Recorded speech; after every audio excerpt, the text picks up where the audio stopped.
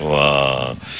김보라 씨, 요즘은 스물 주연 3인방 단체 카톡방에서 이야기하는 주제가 뭐냐고. 요즘에 어떤 얘기를 하는지. 단체방에서 뭐 얘기하는 게 있어요, 요새도요?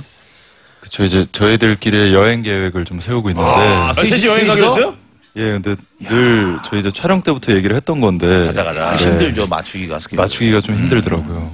그래도 일단은 그 얘기하면서 기분이 좋으니까 항상 상상만 하면서. 해도 기분이 네. 아니, 만약에, 그럼 얘기 나온 데가 어디예요? 어디, 어디를 가자. 가까운 데로 일단은 네. 가까운데 가까운데요? 어디니까? 해외? 어디? 아니요 정말 국내, 가까운데요. 네. 대성리 뭐, 뭐 가, 가평? 아니, 한국에 가까운데? 네, 국내로 해가지고 오, 네. 좋지. 그거는 좀. 갈만하지 않나? 1박이라도 2박. 뭐 그렇죠 이렇게. 그렇죠. 그래, 그렇게 그 정도로 가까운 데면, 어. 어디요? 가- 같이 가면 안 돼? 같이 가실래요? 네. 아니 그 하늘 씨가 예, 예. 혼자 여행하는 걸 좋아하는데 아. 이렇게 되게 좋은 데를 알고 있구나. 펜션 같은 어. 거 친한 분들이 계셔서 어허. 그쪽으로 얘기를 했었었어요. 아, 그렇구나. 왜 혼자 여행 다니는 걸 좋아한대요, 그분은?